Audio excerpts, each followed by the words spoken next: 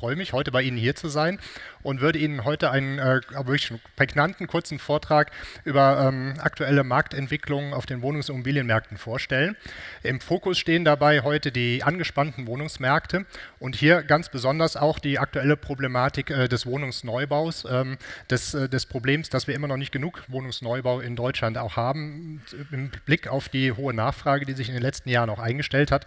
Und deshalb möchte ich eigentlich nur ganz kurz auf die Wohnungsmarktsituation eingehen, wie sie sich auch sehr heterogen in Deutschland entwickelt, um Ihnen dann einige Anreize und Hemmnisse für den Wohnungsneubau vorzustellen und abschließend einige wohnungspolitische Ansätze äh, zu erläutern, wie man äh, einer Steigerung des Wohnungsneubaus dann auch entgegenkommen kann. Äh, Marktanspannungen, ähm, Preissteigerungen, äh, das Problem, eine passende Wohnung zu finden, sind alles Themen, die in den letzten Jahren auch sehr stark in den Medien vertreten waren. Das war in früheren Jahren keineswegs der Fall und wir merken es selbst auch bei uns im Institut, was die Anfragen, Medienanfragen auch angeht, äh, die müssen wir zusätzlich zu den politischen Anfragen und wissenschaftlichen Anfragen, die bei uns eingehen, mittlerweile auch sehr umfassend bewältigen. Und wir sehen also ähm, nicht nur in den Medien, sondern tatsächlich auch über das, was wir äh, regelmäßig in unseren Analysen durchführen, wie angespannt doch äh, viele städtische Märkte sich in den letzten Jahren auch herauskristallisieren. Das Thema Wohnungsnot äh, hat sich auch immer mal wieder manifestiert und ähm, ja, hier geht es jetzt darum zu schauen, wie kann man diesem, ähm, äh, diesem Angebotsproblem dann auch entgegenkommen. Zunächst einmal vielleicht ein Blick in die Regionen Deutschlands. Das ist also auch ein ganz wichtiger Ansatz, den wir bei uns im Institut verfolgen. Wir schauen nicht nach bundesweiten Trends, sondern gucken, wie sich die Regionen in Deutschland, wie unterschiedlich sie sich auch entwickeln. Und das wird eigentlich ganz anschaulich äh, mit dieser Karte, die ich Ihnen hier einmal vorstellen möchte. Es geht hier um die Bevölkerungsentwicklung der Jahre 2010 bis 2015.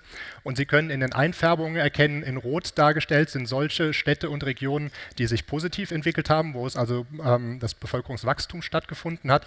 In Blau sind solche äh, Städte und Regionen dargestellt, in denen die Bevölkerung zurückgeht, wo wir also Schrumpfungsprobleme dann auch erkennen, die bis hingehen bis äh, zu Leerstandsproblemen, zu ähm, stabilen bzw. teilweise auch äh, fallenden Immobilienpreisen und auch teilweise den Vermarktungsproblemen von Immobilien. Das soll aber heute jetzt nicht so das Thema sein, sondern wir konzentrieren uns heute etwas stärker auf die rot eingefärbten ähm, Gebiete, nämlich solche, in denen halt ein sehr hoher Nachfragedruck auch besteht. Und wenn Sie sich mal dieses Kartogramm auf der rechten Seite anschauen, das ist ganz interessant interessant, dass hier also nicht ähm, die Karte, die Kreise und Städte nicht ähm, aufgrund ihrer Katasterfläche äh, in der Größe dargestellt sind, sondern die Größe ist definiert über die Bevölkerungszahl der jeweiligen Städte und Kreise. Sie können also erkennen, dass solche besonders dicht besiedelten Städte und Regionen ähm, sich aufblähen, äh, solche, die eine geringere Bevölkerungsdichte haben, komprimieren. Und Sie können hier also ganz anschaulich sehen, dass gerade diese Metropolregionen und Metropolstädte äh, mit einer hohen Bevölkerungszahl dann auch wo auch viele Menschen dann betroffen sind von diesem hohen Nachfragedruck.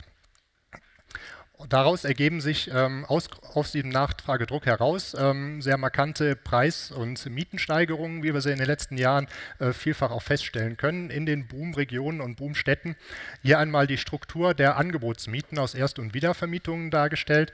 Äh, je dunkler, umso teurer. Ähm, und da kommen halt, äh, fallen dann doch auch die bekannten Metropolen, Wachstumsräume doch auch raus, die teils äh, mittlerweile auch erhebliche ähm, Mieten, äh, Erst- und Wiedervermietungsmieten dann auch aufweisen. Die Region München ist natürlich weit ab von allem, äh, aber natürlich auch der Rhein-Main-Bereich, äh, die ähm, Rheinschiene in Nordrhein-Westfalen, Hamburg und Umland, ähm, Stuttgart und Umland. Und ähm, das sind aber dann auch nicht nur diese großen äh, Städte, die entsprechend hohe Mieten mittlerweile erzielen, sondern es sind mittlerweile auch ähm, Mittelstädte, kleine und große Mittelstädte, die also auch nur gesteigerte Nachfrage erzielt haben. Beispielsweise äh, Universitätsstädte, die haben sich also in den letzten Jahren auch sehr stark herauskristallisiert mit einem Wahnsinnszuzug ähm, von Studenten. Das war zu, äh, einerseits zurückzuführen auf Zuwanderungen innerhalb Deutschlands, das sind diese sogenannten Binnenwanderungen, aber natürlich auch aufgrund aufgrund der ähm, stark gestiegenen Zahl von Außenwanderungen. Hier noch einmal äh, die Entwicklung äh, veranschaulicht für einige wenige Städte. Ich habe mal einen Fokus jetzt herausgenommen auf ähm, westliche und südliche Städte, äh, wo Sie also auch München wieder ganz gut hier unten erkennen können, was sich also ganz besonders abhebt und sicherlich eine Sondersituation auch in Deutschland dann auch darstellt mit der Höhe des Mietenniveaus, aber auch der, den Steigerungsraten. Aber auch viele andere Städte, ähm, die auch relativ kontinuierlich dann äh, Mietensteigerungen aufweisen und somit ähm, ein Problem der Wohnungsversorgung ähm, dort auch äh, klar wird, was sich also nicht nur auch auf einkommensschwache Haushalte bezieht, sondern wo also auch ähm, Haushalte mittleren Einkommens mittlerweile Probleme haben, sich noch mit adäquatem Wohnraum zu versorgen. Woran liegt das nun? Das ähm, ist, ähm, oder ich möchte Ihnen einige Anreize darstellen, ähm, warum Wohnungsneubau ähm, so attraktiv sein kann warum aktuell Wohnungsneubau auch so attraktiv ist, bevor ich dann nachher auf die Hemmnisse näher eingehen möchte. Die steigende Wohnungsnachfrage in den Wachstumsräumen, wie wir sie jetzt gerade eben auch schon in den Karten dann auch äh, wiederfinden konnten, ist sicherlich äh, ein ganz klarer Push-Faktor für mehr Wohnungsneubau. Das heißt, wenn die Nachfrage da ist, ähm, macht es natürlich auch Sinn, das Angebot entsprechend auszuweiten, weil dann natürlich auch, ähm, ja, auch dauerhaft mit, mit, äh, mit einem Bezug zu rechnen ist und das ähm, gerade so unter Anlagegesichtspunkten dann natürlich auch eine relativ wertsichere sichere Anlage dann auch darstellt. Und das ist auch das, diese Wertsicherheit, ähm, was sich halt in den letzten Jahren dann auch, ähm, weshalb Immobilien auch in den letzten Jahren so sehr an Attraktivität gewonnen haben, aus dem Innen- und aus dem Ausland, äh, hat, haben also die deutschen Immobilienmärkte doch äh, zunehmend ähm, ja, Interesse gerufen und ähm, die, die Bereitschaft ist da, wirklich auch ähm, sein Geld in Immobilien festzulegen. Ähm, einerseits wegen der Sicherheit, aber andererseits auch wegen teilweise noch zu erzielenden Renditen, wie sie halt vielleicht in anderen Anlageformen dann mittlerweile nicht mehr erzielt werden können. Die günstigen Finanzierungsbedingungen sind sicherlich auch ein klarer Push-Faktor für ähm, mehr Wohnungsneubau.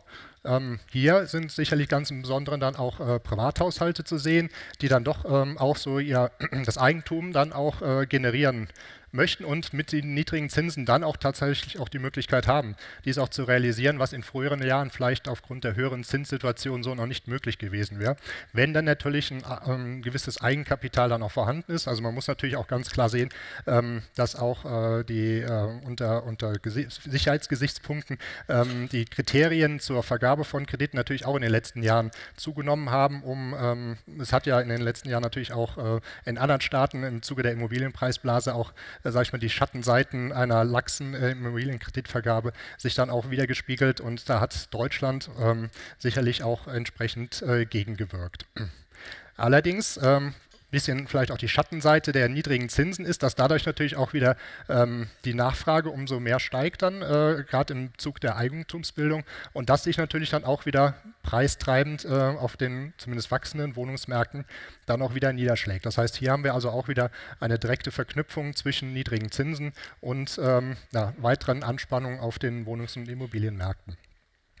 Und ich hatte es schon angedeutet, so der Wunsch nach den eigenen vier Wänden ist halt weiterhin auch präsent in Deutschland. Wir sind zwar ein Land äh, mit ähm, europäischen und internationalen Vergleich, vergleichsweise niedrigen Eigentümerquoten, was sich aber auf jeden Fall auch damit erklären lässt, dass wir halt einen sehr ausgewogenen, vielseitigen ähm, und auch guten äh, Mietwohnungsmarkt auch haben und für viele ähm, gar nicht so der Zwang besteht, in Eigentum zu gehen, um sich dann auch wirklich, ähm, was die Wohnqualität angeht, verbessern zu müssen.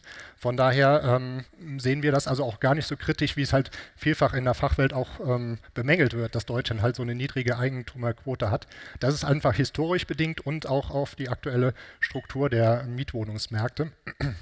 Und der Aspekt Altersvorsorge ist natürlich auch nochmal ein Punkt, der halt die, die Privateigentümer dann auch ähm, an, an, den Anreiz schafft, ähm, sich Eigentum zu bilden, um halt für die Zukunft dann auch vorgesorgt zu haben.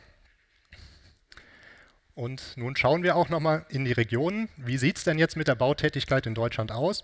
Die Bautätigkeit hat seit Ende des letzten Jahrzehnts enorm zugenommen. Wir waren Ende des letzten Jahrzehnts noch bei deutschlandweit ungefähr 160.000 fertiggestellten Wohnungen. Nun sind wir mittlerweile im Jahr 2016 schon bei knapp 280.000 Wohnungen. Die Zahl der Baugenehmigungen ist sogar noch deutlich höher. Da liegen wir also so bei 375.000 Wohnungen im letzten Jahr und können also in den ganzen letzten Jahren einen deutlichen Anstieg von Baugenehmigungen und Baufertigstellungen Einstellungen erkennen. Jetzt 2017, so die ersten Zahlen, die jetzt bundesweit vorliegen, was die Genehmigungszahlen angeht. Da haben Sie sicherlich auch in den Fachmedien schon mitbekommen, dass also hier ein Rückgang zu verzeichnen ist, was die Genehmigungszahlen angeht.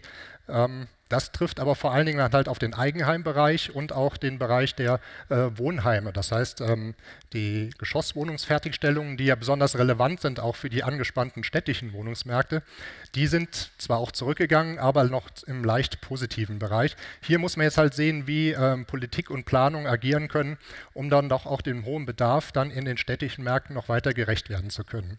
Dass so ein Rückgang stattfindet, ähm, ist sicherlich auf diese Hemmnisse zurückzuführen, auf die ich dann gleich noch gerne eingehen möchte möchte. Hier nochmal nun die angedeuteten Karten. Ähm, wir sehen also eine Differenzierung ähm, nach Regionen nach Siedlungstypen und äh, in der linken Karte einmal dargestellt den Ein- und Zweifamilienhausneubau, in der rechten Karte den Geschosswohnungsneubau. Sie sehen also ähm, je dunkler, umso mehr Wohnungen wurden da je 10.000 Einwohner realisiert, können also beim Ein- und Zweifamilienhausbau sicherlich klassischerweise und erwartungsweise vor allem die Umlandkreise und ländliche Kreise erkennen, in denen halt die Neubauzahlen hier besonders hoch sind. Das ist häufig das Umland der wachsenden ähm, prosperierenden Regionen. Das können aber auch ähm, touristisch attraktive Regionen, die Küstenstandorte sein und teilweise auch so Grenzregionen im Westen, die also auch sehr ho hohe Fertigstellungszahlen erkennen lassen. Im Geschosswohnungsbau sehen wir den Fokus eher auf den Kernstädten, auf den Groß- und Mittelstädten, in denen die Neubautätigkeit in den letzten Jahren doch deutlich zugenommen hat. Und ähm, auch teilweise so an den touristisch attraktiven Standorten, äh, wo also auch noch die Nachfrage nach Geschosswohnungen, die sich aus dem Tourismus ableitet, dann auch wiederzufinden ist.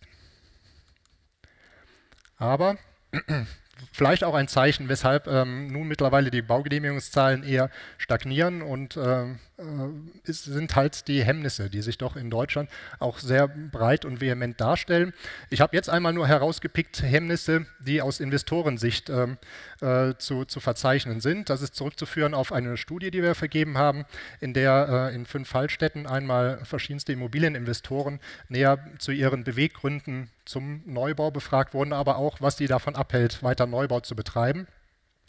Und ähm, ja, ganz klar im Vordergrund äh, an oberster Stelle steht halt die Grundstücksverfügbarkeit, die in den Wachstumsräumen halt das zentrale Problem ist. Nicht nur die Anzahl der, der Wohnungen oder der, der, Entschuldigung, der, der, der Baugrundstücke, die halt fehlt, sondern auch äh, die Bezahlbarkeit von Baugrundstücken ist hier ein ganz zentrales Problem. Und sodass also auch ähm, manche äh, Immobilieninteressierte ähm, auch gar nicht mehr die Möglichkeit haben, noch irgendwie kostendeckend ähm, Wohnraum zu schaffen.